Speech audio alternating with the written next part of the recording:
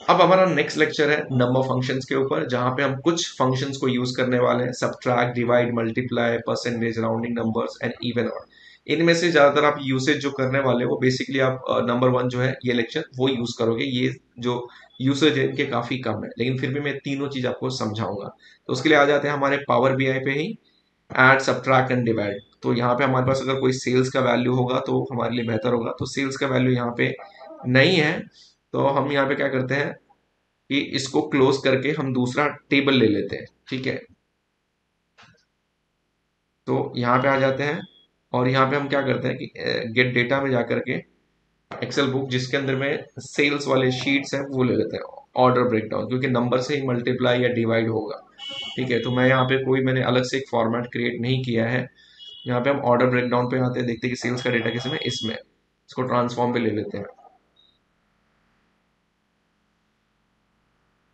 ठीक है? सो यहाँ पे आप देखो कि यहाँ पे सेल्स डिस्काउंट ये सारे के सारे आ गए। और इसको क्या करना है? एड कॉलम में आप यूज़ कर सकते हो। तो फॉर एग्ज़ाम्पल मेरा ये डिस्काउंट है, ये सेल्स है। तो जैसे हमने यहाँ पे टेक्स्ट फ़ंक्शन के बारे में सीखा डेट फ़ंक्शन के बारे में सीखा, उसी तरह आप देखोगे नंबर फ़ंक्शन का भी है। तो इसको आपको क्या करना है?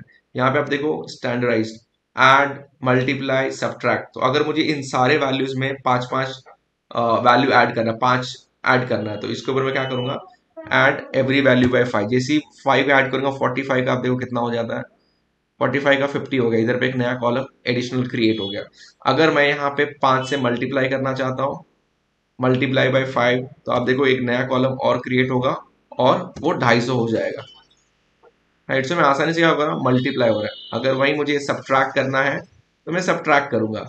तो मैं इसको सब्ट्रैक्ट करना चाहता हूँ सौ से। तो जैसे सौ, से सब्ट्रैक्ट करूँगा, सारी के सारी वैल्यू से सौ से सब्ट्रैक्ट हो गया, एक नया कॉलम और बन गया। या मुझे इनको डिवाइड करना है, इन सबको। इन सबको अगर डिवाइड करना है तो मैं यहाँ से क्या करूँगा थ्री से डिवाइड कर देता हूँ। तो थ्री से डिवाइड हो जाएगा। तो यहाँ पे देखो कि सारा का सारा वैल्यू आ गया। तो इस तरह से आपका जब कोई कॉलम होगा, जब रहेगा तो उसको आप डिवाइड या मल्टीप्लाई या सब्ट्रैक्ट आसानी से कर सकते हो।